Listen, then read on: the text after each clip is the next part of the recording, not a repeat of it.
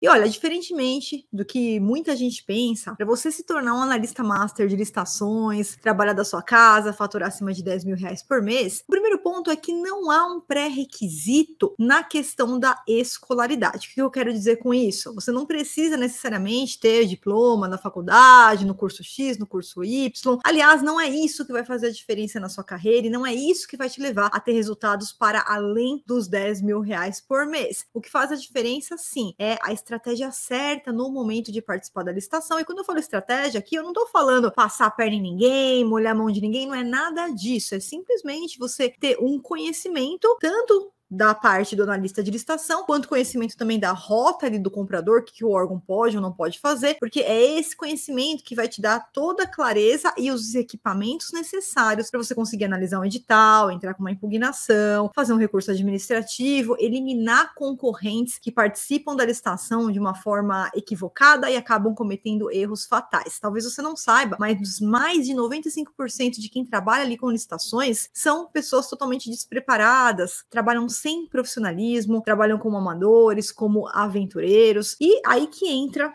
o analista master de licitação, que na verdade é menos de 5% de quem está trabalhando atualmente no mercado, que são as pessoas realmente preparadas com a melhor técnica para não apenas participar da licitação, mas para ganhar a licitação e aumentar significativamente o número de licitações, o número de dispensa que você vai ganhar, trazendo esses resultados tanto para sua empresa, para você que é o analista master empresário, quanto para os seus clientes, para você que é o analista master que representa os seus clientes, que não quer abrir uma empresa. E nesse contexto, qualquer pessoa consegue ser analista de licitação trabalhando de duas formas, tá? Então vamos lá, eu vou falar um pouquinho. Existem basicamente três formas de você trabalhar. A primeira é quem quer, Flávio, eu tenho um MEI, eu tenho uma ME, uma EPP e eu quero vender meus produtos, meus serviços para o governo. Esse é o analista master que a gente chama do analista master empresário. Ele é o seu próprio analista, ele participa das oportunidades representando a sua própria empresa. E a segunda forma, que é o analista master que não quebra empresa e ele representa empresas de clientes. Então veja só, essas duas formas de participação não há pré-requisito nenhum em relação à escolaridade, a diploma de faculdade, a pós-graduação e como eu disse, não é isso que vai fazer a diferença. Eu, em 23 anos atuando nessa área, cansei de ver advogados que foram ali para o campo de batalha unicamente com os ensinamentos da faculdade, os ensinamentos de uma pós-graduação e que na prática não conseguem ter resultado. Participam de muitas licitações, mas não conseguem ganhar muitas licitações perdem muito tempo, perdem muitas licitações para os seus clientes. Então, não é isso que faz a diferença. Eu posso falar isso com propriedade, porque eu sou advogada. Na faculdade, eu não aprendi nada sobre licitação. E depois disso, ainda eu fiz muitos cursos, eu li muitos livros, mas quando a gente tentava aplicar aquela teoria jurídica na prática, a coisa também não funcionava. E eu demorei muito para verificar que a forma aleatória pela qual eu estava me preparando para participar das licitações simplesmente não funcionava. E eu só comecei a ter resultados para além dos 10 mil reais por mês, quando eu efetivamente criei o método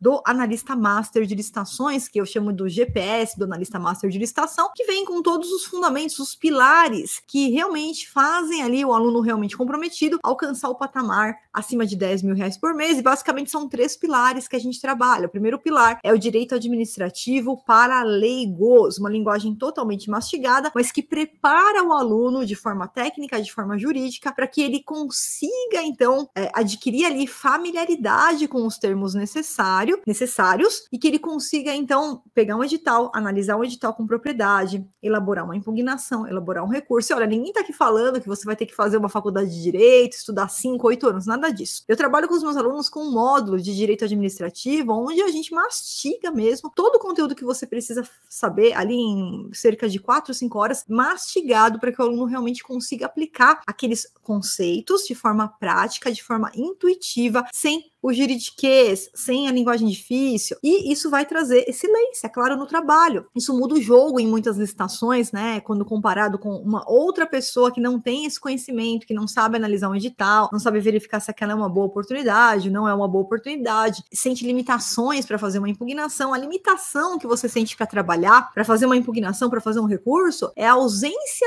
de conhecimento da rota do direito administrativo e também do segundo pilar que é a rota do comprador. Esse é o segundo pilar que eu trabalho o GPS do analista de licitação, porque não adianta nada você conhecer só o seu lado da mesa, você conhecer só o seu lado, saber juntar as documentações, saber entrar na, na, na parte de propostas, saber dar lances, isso vai dar muito pouco resultado, tá? Você vai participar, você consegue participar, mas não garante nada que você vai ganhar a licitação e nem que você vai ter um número significativo de licitações vencidas. Agora, quando você aplica a rota ali do, do analista, a rota do comprador e a rota do direito administrativo, você tem todos os pilares para conseguir excelência no seu trabalho, porque você, a partir daí, você consegue identificar quais são os erros, quais são os pontos cegos que tem naquele edital, quais são os pontos cegos durante o julgamento da licitação, quais são os erros que os meus concorrentes cometeram, analisar estrategicamente os meus concorrentes, e tudo isso de uma forma autônoma, de uma forma intuitiva, é, de uma forma que eu sempre falo, sempre gosto de brincar muito com os meus alunos, não me interessa nada você depender da Flávia futuramente para alguma coisa. O meu objetivo sempre é formar o aluno de forma para que ele tenha autonomia quando ele for trabalhar com licitação, não sinta dificuldade, para que ele consiga ele mesmo, com suas próprias pernas, construir os seus recursos, construir as impugnações, e lógico, isso não é de um dia para o outro. Você não vai aprender isso de um dia para o outro, isso leva um tempo. Aqui, junto com os meus alunos, a gente tem uma estimativa entre 30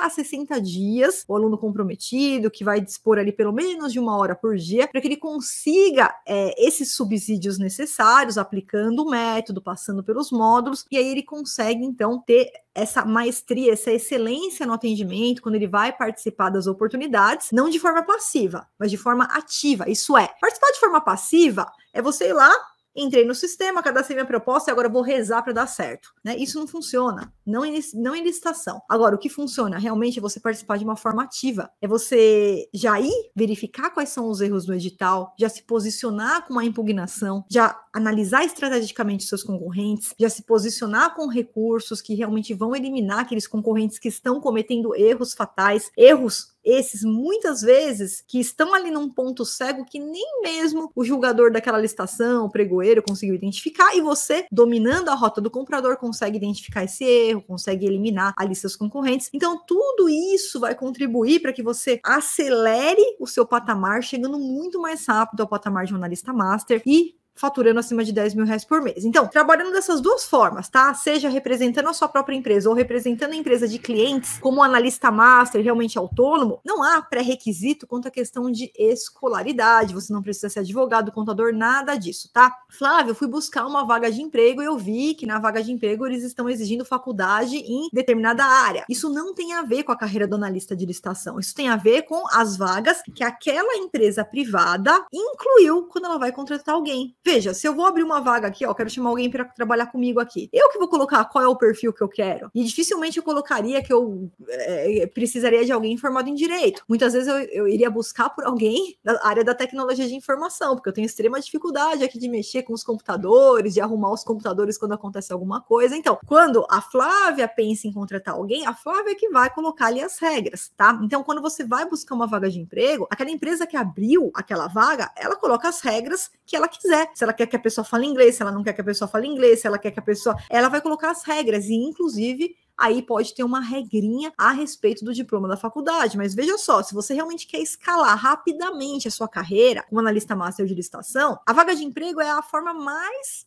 é, lenta possível. Eu quero que você imagine que a gente está falando de duas oportunidades imediatamente aplicáveis que você consegue muito mais rapidamente escalar o seu patamar para cima de 10 mil reais por mês. E olha, não é que eu não tenho nenhum estudo de caso, nenhum aluno que não seja CLT, que não esteja numa empresa contratado pelo regime CLT como analista master de licitação e que não tem esse resultado. Tem sim, eu tenho muitos alunos que estão numa vaga CLT como analista master de licitação, isso é, a empresa contratou eles ali como um analista master exclusivo e que já tem um faturamento muito além dos 10 mil reais por mês. Muitos que estão numa vaga de emprego e concomitantemente também realizam um trabalho como analista master autônomo representando clientes e que também estão faturando acima de 10 mil reais por mês. Mas o que eu estou dizendo para você é que dependendo ali é, da forma pela qual você quer atuar, você consegue direcionar a carreira para forma que mais, mais se adeque à sua rotina, às suas necessidades e trabalhando como analista master que representa a própria empresa ou que representa empresas de terceiros, você consegue escalar mais rápido e chegar mais rapidamente ao patamar dos 10 mil reais por mês. Deixando isso daí claro, tá? Quem que pode ser analista master de licitação? E agora eu vou afirmar para você que qualquer pessoa, qualquer pessoa pode se tornar um analista master de licitação. Mas presta atenção, eu não tô falando aqui que é fácil. E você nunca vai me ouvir falar em nenhum dos meus conteúdos que é fácil se tornar um analista master de licitação, que de um dia para a noite você vai começar a cair do nada 10 mil reais na sua conta sem você fazer nada. Não, não é fácil. Mas sim, existe uma metodologia que serve para qualquer pessoa. Qualquer pessoa realmente comprometida que seguir, que aplicar, consegue esse tipo de resultado acima dos 10 mil reais por mês, ou já consegue logo nos primeiros 30, 60 dias já iniciar tendo os seus primeiros resultados monetários como analista master de licitação e tudo o que você precisa, quais são os requisitos Tá? O primeiro, o ponto mais forte do requisito aqui é o comprometimento. Comprometimento, porque a gente sempre tem duas escolhas. Você pode